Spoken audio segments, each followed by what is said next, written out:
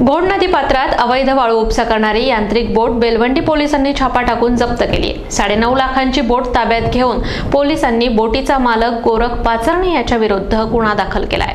बेलवंडी पोलिसांनी कोल्हेवाडी राजापूर शिवारात घोड नदी पात्रात अवैध वाळू उपसा करणारी साडेनऊ लाखांची यांत्रिक बोट जप्त केली आहे. पोलीस निरीक्षक अरविंद माने यांच्या मार्गदर्शनाखाली ही कारवाई करण्यात आली. यात बोटीचा मालक गोरख बबन पाचरणे याच्या विरुद्ध गुन्हा दाखल झालाय. पोलीस अधीक्षक मनोज पाटील अपर पोलीस अधीक्षक सौरभ कुमार अग्रवाल यांच्या मार्गदर्शनाखाली आणि उपविभागीय अधिकारी अण्णासाहेब जाधव यांच्या सूचनेनुसार ही कारवाई झाली. यात पोलीस निरीक्षक अरविंद माने रावसाहेब शिंदे नंदकुमार पठारे दादासाहेब क्षीरसागर संपत गुंड काळाने गोसावी केदारी यांनी सहभाग घेतला. प्रतिनिधी विक्रम बनकर महानगर न्यूज ब्युरो अहमदनगर.